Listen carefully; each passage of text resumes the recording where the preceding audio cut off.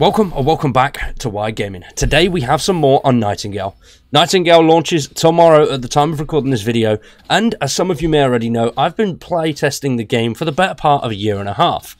And recently I've been able to stick some hours in ahead of the game's launch, so we're going to go over some tips that will help you get through that starting phase a hell of a lot quicker and give you a better start to the game. There are many things you can do, many obstacles you can overcome that will really enhance your gameplay towards the mid later game stages if you get it done early enough. It's going to drastically improve the time it takes you to get through those early stages and to get some of that better gear. Now, if that sounds good to you, subscribe to the channel and stick around for much more Nightingale content. Now, Nightingale is a survival crafting game with plenty of locations dotted all over the realms. One of the most important things in most survival games is simply exploration. You will need to explore and come across many things on your travels. There's various POIs located all throughout the realms that will full of realm cards, decent healing items, loads and loads of other stuff, including essence, which is something that you're really going to need. Now, all of these areas are scattered, they're randomized, and they're different POIs. Some will have you climbing through things, some will have you beating enemies, and others will have you solving simple puzzles. Now, if you can do all of these things, you will come away from these POIs with a decent amount of rewards, especially in those first beginning realms before you get to your respite realm. Now, as you're progressing through the realms, you'll be picking up loads of awesome stuff, but also loads of crap that you don't really need. Now, in this game, you can do one of two things with that crap. You can deconstruct it, which will give you essence, or you can drop it. Now, always deconstruct items, because essence is a big part of the game. You're going to need it from everything to building items later on in the game to buying things from traders. Essence is one of the most important factors of Nightingale, and you will need as much of it as you can possibly get. Now, deconstructing items is by far one of the easiest ways to gain essence. So if you're running through the woods, simply pick things up as you go. If you do get over encumbered and your weight is too much, simply deconstruct anything that you've got that you don't need or want. If you do this throughout the tutorial phases, you will have more than enough essence when you meet the first essence trader later on. Now on your travels you'll come across many animals, you want to farm these as much and often as you can, whenever you see them, because you're going to need a hell of a lot of leather to increase your gear score. So all the animals that you come across, just take pop shots, try and grab as many as you possibly can, because leather is a pain in the ass to get, and crafting it takes a decent amount of hides. So the more animals that you kill early on, the faster you'll be able to progress through that stage, and then you're not going to have to worry and get to a point where you go, oh crap, I need loads of leather. Now I've got to go and farm hundreds of animals just to get some leather. Now, traversing the realms can sometimes be a bit of a pain in the ass, especially if it's one of those mountainous, hilly ones like the forest regions have.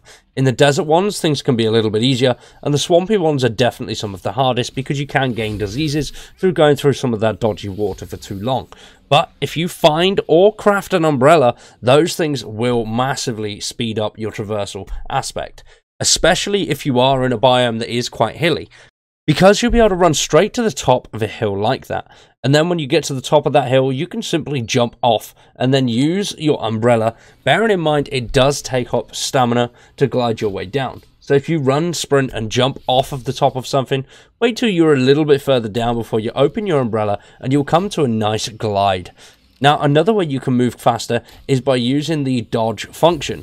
Now, if you do have a single-handed item in your main slot, that will enable this function, as you can see in the bottom right-hand corner. Now, all you need to do is right-mouse click it. Now, if you do this off the top of a mountain, you get a hell of a decent amount of speed on you, and then open your umbrella, you will glide a lot quicker. This will enable you to move around the map pretty freely and pretty quickly. Now, when it comes to finding your base area, I would highly recommend somewhere that has a decent amount of animals and somewhere that is relatively up high. Wherever you build your base, if it does seem to be a spawning area, then those animals will slowly start to fade away and move a little bit further away from your base. As far as I can tell, there aren't exactly set spawns, but enemies and animals seem to appear in the same sort of areas. But when it comes to a building aspect, I'd recommend somewhere near a mountainside because you'll come across lots of gems and lots of stones, especially if you want to do a stone building, and then loads of trees as well around a mountain. So it does work well if you set up sort of on the side or on the top of a mountain. You'll find a decent amount of resources everywhere and anywhere, and you'll have a decent view on where the animals are spawning in and be able to take them out from a bit of a distance. Now, once you've got through those first stages of the actual tutorial, you'll be able to pick your Respite Realm. Now, your Respite Realm is your home realm where you will build your estate. This is very important, and you're going to want to stay here for a little while if you're not looking at speeding through the game as fast as possible. If you can stay here for a little bit early game and build up yourself a little bit better, you will have a much better chance at survival when you go through some of those tougher realms later on. Another thing about the Respite Realm, it is the first place that you will come into contact with an Essence Trader and a Companion. These two things are very important, especially Companions, because Companions are really going to help you throughout your journey, especially if you're playing solo. Because Companions will aid you in everything from gathering resources to combat, all the way up to just being a pack mule if that's really what you want them for, because your inventory will fill up very fast at the start of the game especially if you haven't done a lot of exploring and haven't found certain items that will boost that carrying capacity, such as backpacks. Now, the way you get these companions is very simple. You must engage with them, have a little bit of a chat, and they will offer you a form of quest. That quest can be anything from help building the structure to defeating enemies. Now, once you've done that quest, all you need to do is simply engage with them again, and once you've done that, you will have yourself a companion. Don't worry if you're not a fan of this companion, you'll be able to find various companions later on throughout the quest line. You can also change the weapons and gear on these companions to make them much more effective in combat situations if you see fit. Now in your Respite Realm, once again you will be coming across the Essence Trader. The Essence Trader is a very, very important early game because this guy will sell you lots of materials, crafting benches, and blueprints that you will need to progress through some of the quests later on. Now, you will be progressing through certain quests, building certain items, but you'll get to a point where it takes you to a separate realm.